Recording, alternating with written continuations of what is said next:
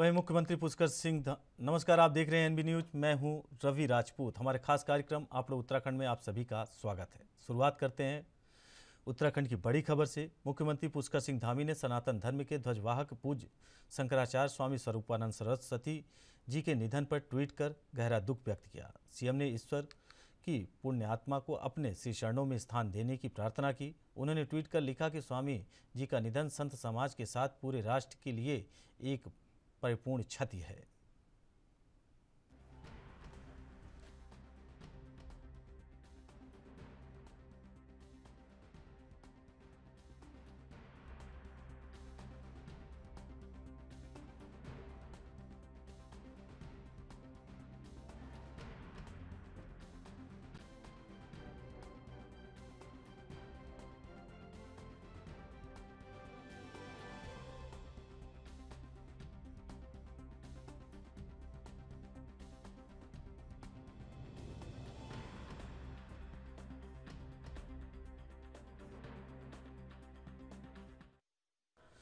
वहीं उत्तराखंड के मुख्यमंत्री पुष्कर सिंह धामी ने पिथौरागढ़ के खोतिला क्षेत्र में अतिवृष्टि से हुए नुकसान का हवाई सर्वेक्षण किया। जिला प्रशासन, एसडीआरएफ और पुलिस द्वारा राहत और बचाव कार्य तेज़ी से किए जा रहे हैं। सीएम ने आपदा प्रभावितों को हर संभव सहायता देने का भरोसा दिलाया। नेपाल के धारचूला के ऊंचाई वाले क्षेत्र दल लेक में बादल फटने से उपनाए लास्कू नाले में भारी तबाही मचाई, मची है। इसका पानी काली नदी में जाने से नवगाड़ गाँव और महाकाली नगर पालिका में पाँच लोगों की मौत हो गई है। ग्यारह लोग लापता हैं, जबकि तीस से अधिक मकान जमींदोज हो गए हैं।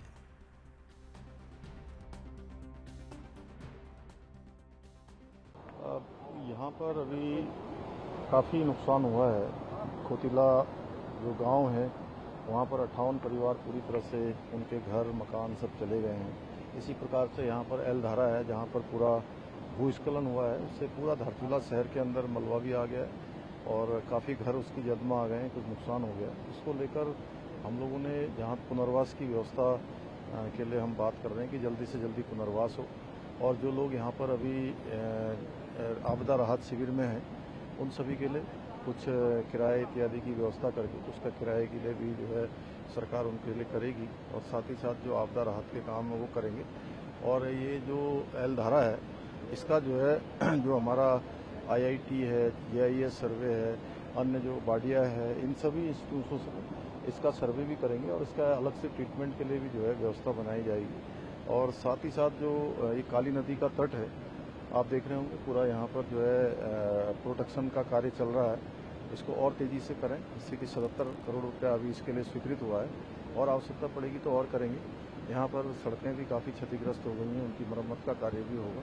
अभी हमारा पूरा प्रयास है कि जो लोग पूरी तरह से अपने घर, परिवार, जिनका पूरा मकान ढह गया है, उन सबको जल्द से जल्द जो उनका उपचार है, बहुत सारे लोगों को चोटें भी लगी हुई हैं, उनका उपचार जल्दी हो जाए, उनको राहत की जो सामग्री है वो मिल जाए।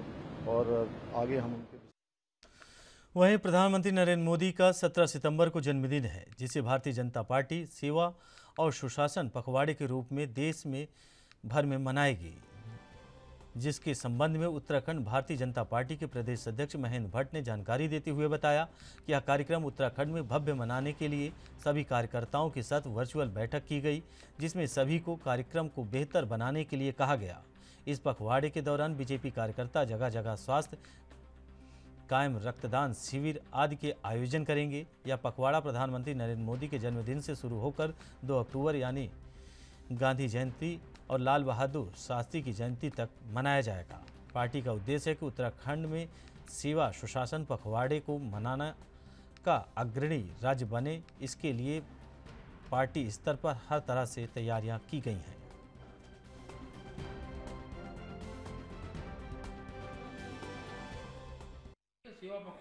सत्रह तारीख से हम प्रारंभ कर रहे हैं। इसी बीच में पच्चीस तारीख को दीनदयाल जी की जयंती भी उसमें मन की बात का कार्यक्रम भी है। और दो अक्टूबर को महात्मा गांधी लाल बहादुर शास्त्री की जयंती। इन तीनों कार्यक्रमों को पखवाड़े के रूप में हमारा राष्ट्र नेतृत्व हमको कार्यक्रम दिया है। हमारे राज्य के अंदर इसके लिए प्रदेश की टीम बन गई है। ज़िले में हमने टीमें बना दी हैं। और ये कार्यक्रम भव्य हो, ये हमारा इस बार का प्रयास है। और क्योंकि इस बार प्रतिस्पर्धात्मक ये आयोजन हो रहा है तो मैं चाहूँगा उत्तराखंड राज्य पूरे देश के अंदर इन सब कार्यक्रमों में प्रथम स्थान प्राप्त कर स्थिति सामने हमने अभी वीडियो कॉन्फ्रेंस के माध्यम से अपने सब कार्यक्रमों से आग्रह भी किया और मुझे पूरा विश्वास उत्तराखंड के अंदर हम इस कार्यक्रम को भव्य स्वरूप देंगे।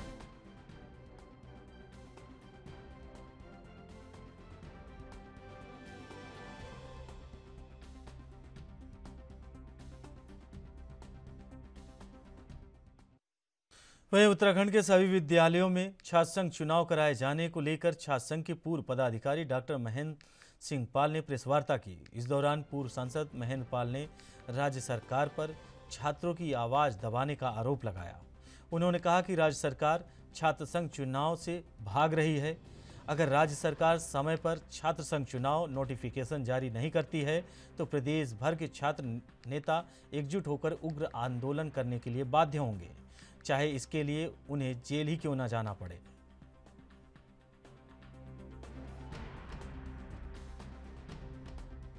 सीधी सी मांग है, राजनीति से ऊपर उठ के, उत्तराखंड के अंदर लिंडो कमीशन पर आधारित जो नियम दिए गए हैं, उस आधार पर उत्तराखंड सरकार इलेक्शन की घोषणा करें एक डेट नोटिफाई करें, जिससे कि यूनिवर्सिटी, जितने भी यूनिवर्सिटीज़ हैं, कॉलेज हैं, वो अपने अपने यहाँ इलेक्शन कराएँ नियमानुसार। और सारे सारे स्टूडेंट को एश्योरेंस दे चुकी हैं, वाइस चांसलर और प्रिंसिपल की वो इलेक्शन कराने को तैयार हैं। लेकिन उत्तराखंड सरकार, खासकर शिक्षा मंत्री इस ओर ध्यान नहीं दे रहे हैं। एक बड़ा आंदोलन खड़ा होगा, जिस तरह की आज की परिस्थितियाँ हैं, उसमें हम छेड़छाड़ नहीं करना चाहते। लेकिन हम अगर समय पर इन्होंने इलेक्शन घोषणा नहीं की नोटिफाई नहीं किया, छात्रों के स्टूडेंट यूनियन बनाने की रूपरेखा नहीं रखी डेट घोषणा नहीं की तो हम सब लोग मिलकर के पुराने, नए, आने वाली हमारी जनरेशन इकट्ठे संघर्ष करेगी और आंदोलन करेगी और यूनियन का इलेक्शन हर वहीं अखिल भारतीय कांग्रेस कमेटी के सदस्य चैनेन्द्र रमोला ने त्रिवेणी घाट स्थित एक होटल में प्रेस वार्ता की। इस दौरान उन्होंने कैबिनेट मंत्री प्रेमचंद्र अग्रवाल पर कई गंभीर आरोप लगाए। जैनेन्द्र रमोला ने कहा कि विधानसभा में भर्ती घोटाले का मामला केवल युवाओं की भर्तियों तक सीमित नहीं है। बल्कि इसमें बहुत बड़ी रकम का लेन देन भी शामिल है, जिसकी वजह से कैबिनेट मंत्री की अब संपत्तियों में काफ़ी इजाफा हुआ है। इतना ही नहीं, कांग्रेस नेता ने दावा किया है कि उनके पास दस्तावेज़ भी मौजूद हैं। इसकी जाँच सरकार को ईडी और सीबीआई से सुप्रीम कोर्ट के रिटायर्ड जज की निगरानी में करानी चाहिए। इससे मामले में दूध का दूध और पानी का पानी हो सके।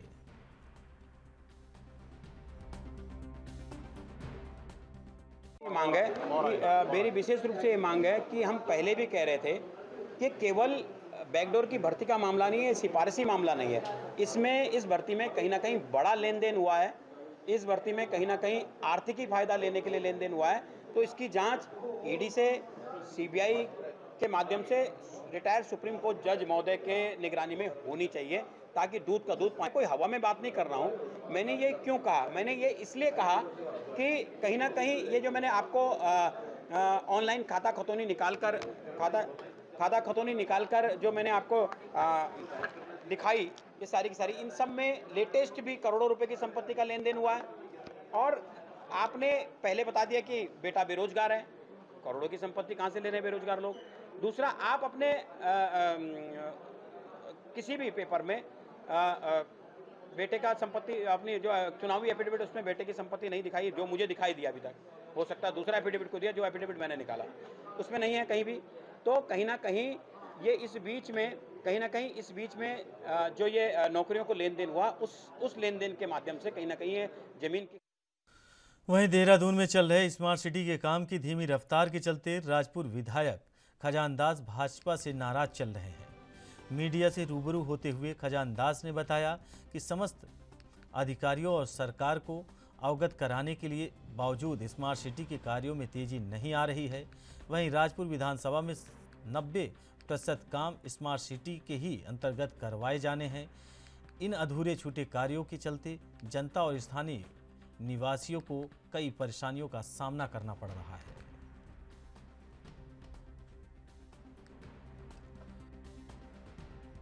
सिटी का जहाँ तक सवाल है, माननीय प्रधानमंत्री जी का वो ड्रीम प्रोजेक्ट है। और स्मार्ट सिटी के तहत जो भी कार्य हैं, जो कार्यदायी संस्था है, हम समय समय पर उनको अवगत करवा रहे हैं, क्योंकि जो एक एडवाइजर कमेटी की बैठक होती है, उसमें समय समय पर इनको अवगत कराया गया है।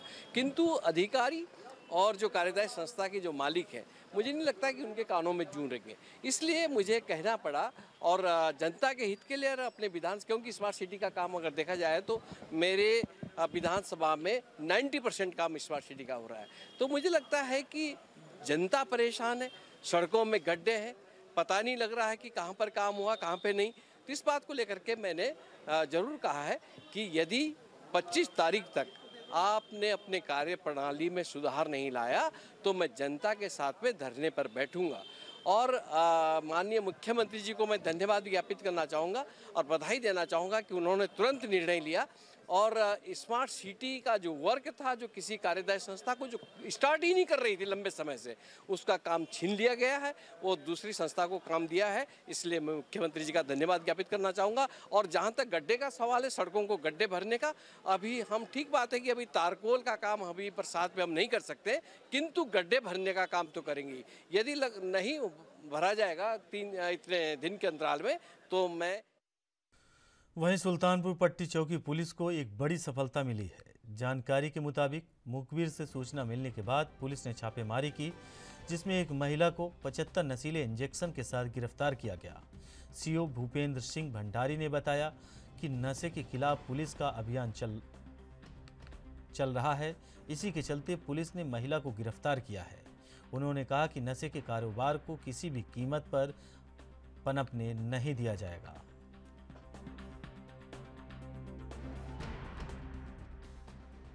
देखिए, ये अभियान यहाँ पर हमारा चल रहा है, जो नव, नई वाली जनरेशन है। इन लोगों पर ये अवैध तरीके से जो इस प्रकार के इंजेक्शन आदि कर रहे हैं तो छोटे बच्चों को जो है ये ख़राब कर रहे हैं। और जिनमें बच्चों की आदत अगर ये पड़ जा रही है इसकी तो ये बहुत ही ज़्यादा जो है आगे के लिए, उनके जीवन के लिए खतरा बना हुआ है। तो इसी के अनुसार पर हमारे समय समय पर जो अभियान चलाए जा रहे हैं, कल एक रिहाना बेगम नाम की एक लेडीज़ है, ये गड्ढा कॉलोनी सुल्तानपुर पट्टी में। तो उसके घर से अवैध तौर पर जो है सेवेंटी फाइव ये जहरीले इंजेक्शन पाए गए हैं, जिसको जो है वहीं उत्तराखंड में नैनीताल के पंत पार्क में भारत रत्न पंडित गोविंद वल्लभ पंत की 135वां जन्म महोत्सव धूमधाम से मनाया गया।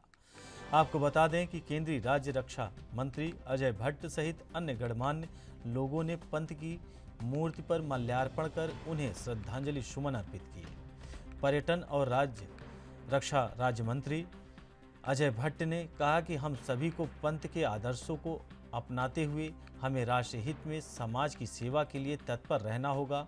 यही उनके प्रति सच्ची श्रद्धांजलि होगी। उन्होंने कहा कि नैनीताल के भवाली में पंडित गोविंद वल्लभ पंत संग्रहालय की स्थापना की जाएगी। ताकि लोगों को संग्रहालय में देश की आज़ादी में महत्वपूर्ण योगदान देने वाले महापुरुष से संबंधित जानकारियाँ मिल सकें। अजय भट्ट ने कहा कि राज्य में सैनिकों के सम्मान के लिए राज्य सरकार प्रदेश भर में सौ सैनिक स्कूल खोलने जा रही है।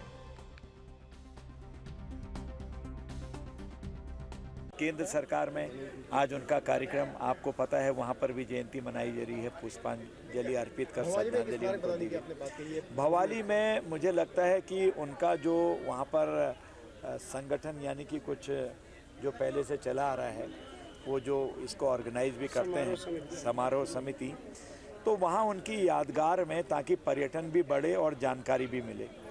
तो इस किस्म का एक स्मारक वहाँ बनेगा मुझे लगता है क्योंकि उत्तर प्रदेश के भी मुख्यमंत्री रहे हो, आपको पता ही है, पहले रहे हैं और उस समय प्रदेश हमारा अविभाजित था, अब वो यहाँ के भी हैं। तो इसलिए मैंने माननीय योगी जी से वार्ता की है, सफलता मिलेगी तो निवेदन करूँगा कि यहाँ पर एक उनका स्मारक बहुत अच्छा जिसमें पुस्तकालय भी हो और हमारे जो स्वतंत्रता संग्राम सेनानी हैं, उनकी जीवनी हो, उनकी जीवनी हो, उनके संघर्षों का ब्यौरा हो और उन्होंने क्या क्या काम किए उसका ब्यौरा हो। ये मेरे मन में उद्गार हैं, जहाँ शिव शिव जी और माता पार्वती जी का विवाह हुआ, जिसके उन्होंने अग्नि प्रज्वलित करके फेरे लिए। वो आज तक भी प्रज्वलित है। कम लोगों को पता है, हमारे ही कम लोगों को पता है पता है। मैं जगह जगह बोलता हूँ देश भर में बोलता हूँ। उसको क्यों नहीं वो मॉन्यूमेंट बन सकता हमारा? इसी तरह से ऑटोबायोग्राफी ऑफ़ ए योगी आपने पढ़ा हो अगर योगी कथामृत। उसकी केब पांडखोली में है। दुनिया से लोग टूट के आते हैं, देश के लोग टूट के आते हैं, और अंग्रेज़ हमारे बाहर से किताब पढ़ पढ़ के आते हैं वहाँ। तो हम लोग उसको डेवलप क्यों नहीं कर रहे हैं? तो इनके वहीं हरिद्वार ज़िले में जहरीली शराब पीने से हुई ग्रामीणों की मौत के बाद सियासत शुरू हो गई है। इस घटना को लेकर कांग्रेस के पूर्व विधायक काजी निजामुद्दीन ने प्रदेश सरकार पर लापरवाही का आरोप लगाया है। उन्होंने कहा कि हरिद्वार तीर्थ स्थल में लाखों की संख्या में श्रद्धालु हरिद्वार आते हैं। तीर्थ स्थल पर जहरीली शराब का आना सरकार की लापरवाही को दर्शाता है। आपको बता दें कि लक्षर के पथरी थाना क्षेत्र में कच्ची शराब पीने से सात लोगों की मौत हो गई थी, जिसके बाद प्रशासन ने पथरी थाना इंचार्ज और क्षेत्रीय आबकारी अधिकारियों को सस्पेंड कर दिया।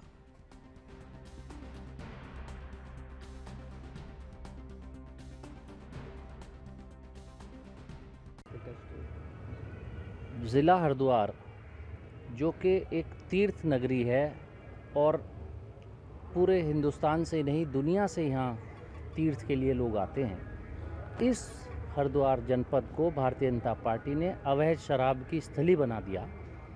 पिछली सरकार के समय भारतीय जनता पार्टी की 50 लोगों से ज़्यादा की मौत हुई थी। आज यहाँ पर लगभग सात लोगों की नकली शराब पीने से जान जा चुकी है। और और भी जाने यहाँ जा सकती हैं उसी कांड में। भारतीय जनता पार्टी ईमानदारी का चोला ओढ़ती है, धर्म की बात करती है और हरिद्वार जनपद को इन्होंने नशे का अड्डा बनाकर छोड़ दिया तो भारतीय जनता पार्टी की भ्रष्ट सरकार को आत्मंथन करना चाहिए और आसपास के ज़िले जो यूपी के लगते हैं, वहाँ से या हरियाणा से यहाँ शराब आती है, वहाँ भी भारतीय जनता पार्टी की सरकारें हैं।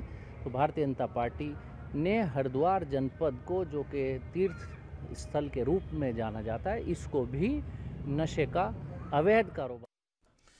वहीं डीजीपी अशोक कुमार के ऑपरेशन मुक्ति के तहत पौड़ी गढ़वाल ज़िले के कोटद्वार में दर्जनों बच्चे शिक्षा की जगह स्कूल में जाकर भिक्षा की जगह शिक्षा ले रहे हैं। लेकिन पारिवारिक माहौल अनुकूल नहीं होने की वजह से बच्चों को शिक्षा का पूरा ज्ञान नहीं मिल पा रहा है। ऐसे में एसएसपी यशवंत सिंह चौहान के निर्देश पर ऑपरेशन मुक्ति के प्रभारी कृपाल सिंह ने बच्चों के लिए ट्यूशन की व्यवस्था भी करा दी है। अब स्कूल में पढ़ाई कर मजदूरों के बच्चों को स्कूल के साथ ट्यूशन में बेहतर होमवर्क कराने का मौका भी मिलेगा, जिससे कि बच्चे शिक्षा पर ध्यान देकर अपने भविष्य उज्जवल बना सकें। वहीं एसएसपी यशवंत सिंह चौहान ने बताया कि कोटद्वार के अलावा इस प्रकार की व्यवस्था के लिए अन्य शहरों में भी करने की योजना बनाई गई है। इस योजना को हमारा मोहल्ला, हमारा अध्यापक, हमारे विद्यार्थी का नाम दिया गया है।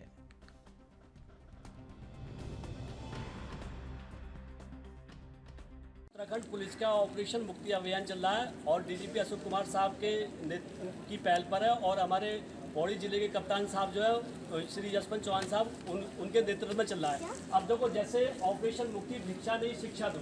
और इसमें हमने ये करा जैसे हमारा मोहल्ला हमारा मोहल्ला हमारा अध्यापक और हमारे विद्यार्थी। तो हम जिस जगह पर यहाँ पे सरिया फैक्ट्री में कोटद्वार में आए हुए हैं यहाँ पर जो है तो इन्हीं इन्हीं के बच्चे हैं और इन्हीं में से टीचर होंगे ये मैम होंगी और इन्हीं इन्हीं की ये जगह होगी। तो इसका मतलब ये होगा हमारा मोहल्ला हमारा अध्यापक और हमारे विद्यार्थी। और ये बच्चे जैसे स्कूल से वापस आएँगे तो शाम चार बजे से ये बच्चे यहाँ पर दो घंटे के लिए बतौर कोचिंग या ट्यूशन करेंगे और यहीं के लोग आपस में मिलजुल कर जो टीचर को पे करेंगे जो भी जो जो भी जो भी हो, होगा वहाँ से जो है। और इसलिए हमने ये, ये कराया कि बच्चों को काम नहीं कलम चाहिए बच्चों को काम नहीं किताब चाहिए। और बच्चे जब घर में आसपास आकर घूमते हैं तो घूमना अलग होता है खेल खेल अलग होता है तो इनका स्पोर्ट भी कराएँगे छोटा मोटा जो बच्चों के लिए मैम जो है और पढ़ाई भी कराएँगे। ये हमारा उत्तराखंड के भीमताल में विश्व इलेक्ट्रिक वाहन दिवस पर ई वाहनों को प्रोत्साहन देने के लिए चलाई जा रही ग्रीन ड्राइवर 3.0 का भीमताल में स्थानीय विधायक राम सिंह कैड़ा ने स्वागत किया। ग्रीन ड्राइवर 3.0 के पूर्ण होने पर सभी प्रतिभागी अंतिम गंतव्य पर प्रत्येक कार चालक से एक एक पौधा लगाने की पहल करेंगे। उन्होंने कहा कि गो ईवी स्मार्ट को सबसे लंबे ईवी ड्राइव 3.0 के लॉन्च की घोषणा करते हुए गर्व हो रहा है। राम सिंह कैड़ा ने कहा, इसका मकसद लोगों में विद्युतीकृत परिवहन संचार और उज्जवल हरित व पर्यावरण अनुकूल भविष्य के प्रति अधिक से अधिक जागरूकता पैदा करना है।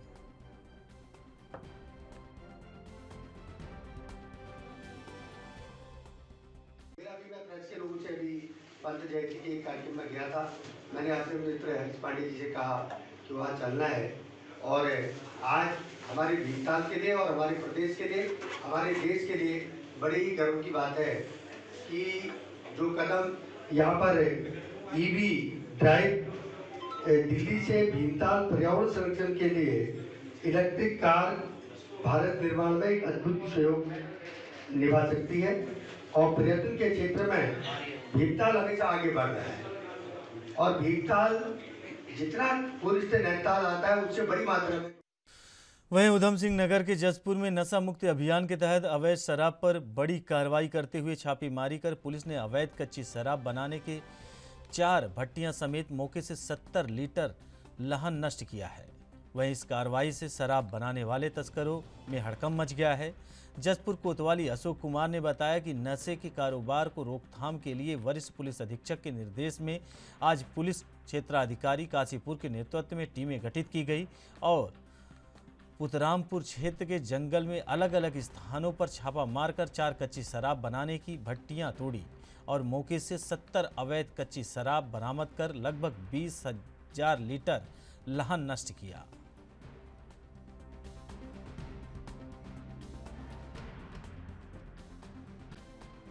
अधीक्षक महोदय के आदेश पर और सी ओ महोदया के नेतृत्व में हम लोगों ने जसपुर की टीम जसपुर से एक पुलिस टीम बनाई गई थी जिसमें पतरामपुर क्षेत्र में पतरामपुर क्षेत्र और डाम क्षेत्र में जो है हमारा उसमें हम लोगों ने जो है जगह जगह कॉम्बिंग की जिसमें टोटल चार भट्टी हमारे द्वारा नष्ट की गई हैं। इसके अलावा हमने एक एक एक, एक, एक जगह से शराब भट्टी पकड़ी है जिसमें करीब सत्तर लीटर शराब है उपकरण भी हैं उसके। और मौके से वह व्यक्ति भाग चुका। बीस हज़ार जो है, लीटर लहन हमने नष्ट किया है। जी हाँ इसमें लगातार हम, हमारी कार्रवाई जारी रहेगी।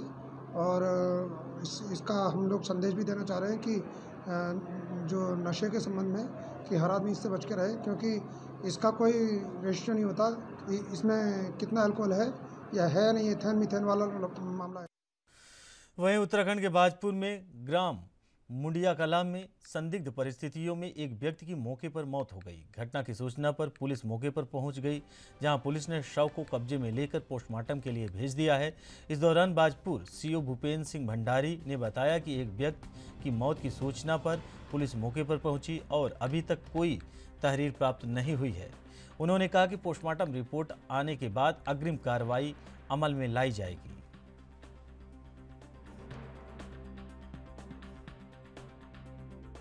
प्रिया कला की घटना है एक। अभी 112 को सूचना मिली थी तो उनके घर, वहाँ 112 गई तो उनके घर वालों का कहना था कि इसकी जो है वो पेट में दर्द हुआ था, उसकी वजह से जो है इसकी मृत्यु हुई है बीमारी से। तो उसको पहले ये हॉस्पिटल भी ले गए वहाँ डॉक्टरों ने उसको मृत घोषित कर दिया, उसके बाद घर पर ले आए। घर पर लाने के पश्चात 112 को सूचना थी तो 112 को ये शक हुआ कि मतलब इसकी जो है हैंगिंग कर रखी है या कुछ इस प्रकार का जो है वो चीज़ उसमें पाई गई। उसका पंचायतनामा भर करके जो है पोस्टमार्टम के लिए सरकारी हॉस्पिटल में ले आए हैं। पोस्टमार्टम की जो भी रिपोर्ट आएगी, फिर मंगलौर क्षेत्र में इन दिनों हो रही विद्युत कटौती को लेकर क्षेत्र के लोगों में काफ़ी गुस्सा है। दिन भर कई घंटे हो रही विद्युत कटौती से मंगलौर क्षेत्र में आम जनजीवन भी पूरी तरह से प्रभावित हो रहा है। विद्युत सप्लाई न मिलने से लोगों को पानी के पानी की भी दुश्वारियाँ झेलनी पड़ रही हैं। मंगलौर जनप्रतिनिधियों भी कई बार विद्युत विभाग के उच्च अधिकारियों से विद्युत सप्लाई दुरुस्त करने की शिकायत कर चुके हैं। लेकिन अभी तक मंगलौर में विद्युत सप्लाई ठीक से नहीं हो पाई है, जिससे जनप्रतिनिधियों को भी लोगों के गुस्से का शिकार होना पड़ रहा है। वहीं विद्युत सप्लाई ठप होने से मंगलौर के पूर्व विधायक व वर्तमान विधायक भी आमने सामने आ गए हैं।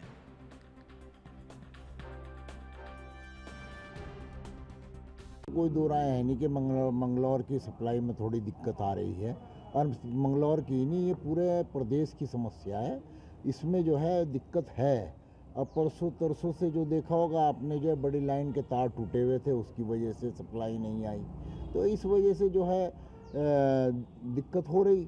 जहाँ तक सोलर प्लांट की बात है, मेरे ख्याल से पूर्व विधायक ये भूल गए कि सोलर प्लांट जब तक लाइट नहीं आने की तो चलने का नहीं। अगर लाइट आएगी तो सोलर प्लांट भी चलेगा और सोलर प्लांट चलने का नहीं तो लाइट भी आएगी तो ये बौखलाक है, बौखलाट का सबूत है इस विधायक का, क्योंकि वो करना तो कुछ चाहते नहीं। सोलर प्लांट कोई आज ही लगा हुआ है क्या? सोलर प्लांट को पंद्रह साल हो गए लगे हुए। पाँच साल जो बिजली नहीं आई, वो वो कहाँ गया? जब भी तो सोलर प्लांट था वहाँ पर। जब बिजली क्यों नहीं आवे थी? क्यों नहीं उन्होंने दिक्कत करी? क्यों क्यों दिक्कत हुई उनके राह पाँच साल में? तो आज आज उन्हें दिखाई दी कि सप्लाई नहीं है। सप्लाई तो मंगलौर में जब से पूर्व विधायक रहे, जब से सप्लाई नहीं है मंगलौर के अंदर। और अब तो आ भी रही। पहले तो दो दो, तीन तीन दिन नहीं आवे थे जब इसका बाप चेयरमैन वो विधायक था। समझ रहे?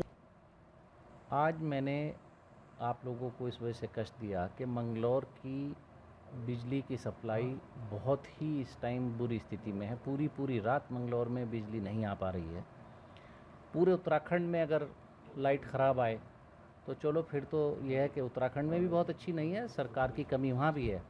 कई कई घंटे का कट है लेकिन ऐसा नहीं है पूरे उत्तराखंड में कि पूरी पूरी रात लाइट नहीं आ रही। मंगलौर के आसपास रुड़की झबरेड़ा लक्सर लंढौरा यहाँ लाइट आ रही है अट्ठारह घंटे के लगभग। और मंगलौर में पूरी पूरी रात सप्लाई नहीं है।